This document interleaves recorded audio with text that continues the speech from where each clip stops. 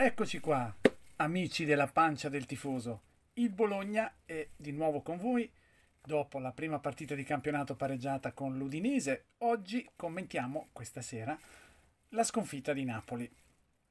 Brutta sconfitta di Napoli, sì, brutta perché in realtà non c'è quasi stata partita. Il eh, Napoli comunque non ha mai dato l'impressione di poter non vincerla. E ovviamente dall'altra parte il Bologna ha dato l'impressione di poterla perdere in qualunque momento. E l'ha persa. 3 a 0 3 brutto perché è un inizio difficile. Ovvio nuovi schemi nuovo mister nuovi giocatori nuova situazione da affrontare.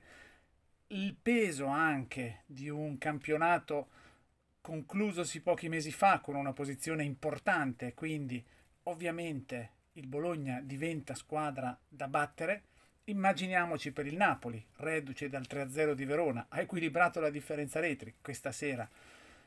È ovvio che davanti al pubblico, Conte, pressione, assalto, 3-0.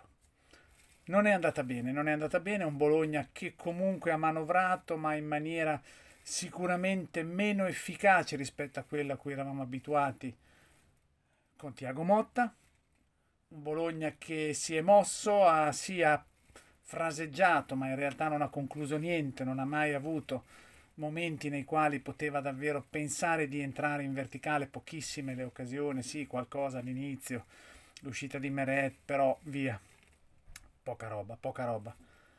E un dato preoccupante secondo me riguarda comunque l'attacco, perché qui, eh, qui ci vuole qualcuno che fa gol, ci vuole qualcuno che è un punto di riferimento lì davanti, un qualcuno che non abbiamo più perché sappiamo che è andato al Manchester United a fare anche dei danni il nostro Joshua, però certamente bisogna subito, ma subito, subito mettersi al lavoro.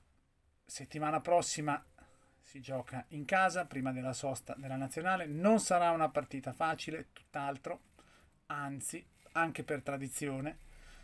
Quindi, insomma, bisogna stringersi, bisogna stringersi, portare pazienza, stringere i denti, avere fiducia, credere nel lavoro dei dirigenti, della società, consapevoli però che quello dell'anno scorso è stato un campionato straordinario e sarà, io credo, quasi impossibile ripetersi metterei la firma su un bel campionato onorevole del Bologna quest'anno, comunque nel lato sinistro della classifica, in buona posizione, magari in lotta per l'Europa. Metto la firma su una partecipazione alla Champions League onorevole, quindi con belle partite, ovvio, prepariamoci perché tanto sappiamo no, contro chi giocheremo, quindi prepariamoci anche a soffrire, ma allo stesso tempo prepariamoci anche a divertirci, a far parte di questo grande spettacolo e magari anche con delle piccole soddisfazioni, perché mica sono tutti Real Madrid, il Barcellona o il Bayern Monaco o il Manchester City, via. Ecco, quindi aspettiamo.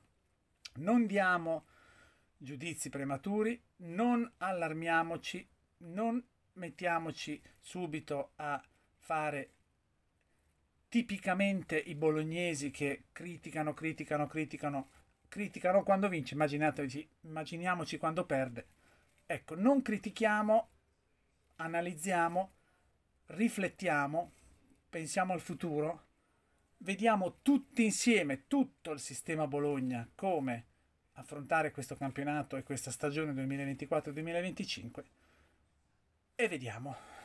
Fiducia, ripeto, pazienza e anche spirito critico e di sopportazione. Una parentesi in chiusura sapete, oltre al Bologna, sono un grandissimo tifoso di Yannick Sinner. Senza se e senza ma, sempre forza Yannick Sinner. Ci vediamo la settimana prossima. Ciao a tutti, amici della pancia del tifoso rossoblu, amici del club Bologna Pesaro, amici di Forza Bologna sempre e ovviamente proprio anche facendo una ripetizione Forza Bologna sempre.